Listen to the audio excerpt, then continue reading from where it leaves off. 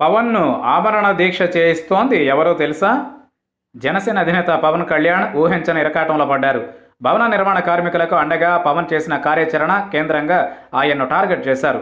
ఇసుక లభ్యత లేకపోవడం మూలంగా ఐదు నెలల నుంచి ఉపాధి కోల్పోయిన భవన నిర్మాణ కార్మికుల కష్టాలను అందరికీ తెలిపేందుకు విశాఖపట్నంలో పవన్ కళ్యాణ్ లాంగ్ మార్చ్ చేపట్టారు. ఈ సందర్భంగా ఆయన మాట్లాడుతూ ముప్పై ఐదు లక్షల మంది భవన నిర్మాణ కార్మికులు నెలల తరబడి ఉపాధి లేక రోడ్డున పడ్డారు. వారి కష్టాలను రెండు వారాల్లోగా పరిష్కరించాలని ఆంధ్రప్రదేశ్ ప్రభుత్వానికి అల్టిమేటం ఇచ్చారు.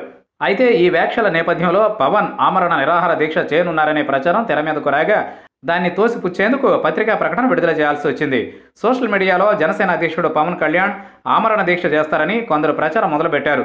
ఎక్కడ తేడా రాకుండా జనసేన పార్టీ లెటర్ హెడ్పై పార్టీ అధ్యక్షుడి రాజకీయ కార్యదర్శి పి. హరిప్రసాద్ పేరిట ప్రెస్ నోట్ సృష్టించి చలామణిలో పెట్టారు. దీంతో పవన్ ఆమరణ దీక్ష అని పేర్కొంటూ గడువులోగా ప్రభుత్వం స్పందించకపోతే అమరావతి వీధుల్లోనే భవన నిర్మాణ కార్మికులకు అండగా నడుస్తాను అని జనసేన అధ్యక్షుడు ప్రకటించారని అనంతరం ఆయన ఆమరణ దీక్ష చేయనున్నారని వెల్లడించారు. నవంబర్ పదిహేడవ తేదీన ఉదయం పవన్ ఆమరణ దీక్షకు కూర్చుంటారనే సారాంశంతో ఉన్న ఆ నకిలీ ప్రెస్ నోటుతో ఇటు పవన్ కళ్యాణ్ అటు జనసేన పార్టీలో కలవరం మొదలైంది.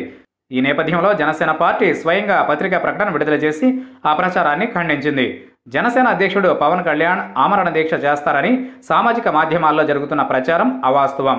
తప్పుడు సమాచారంతో పార్టీ లెటర్ హెడ్పై పార్టీ అధ్యక్షుడి రాజకీయ కార్యదర్శి పి. హరిప్రసాద్ పేరిట ప్రెస్ నోట్ సృష్టించారు.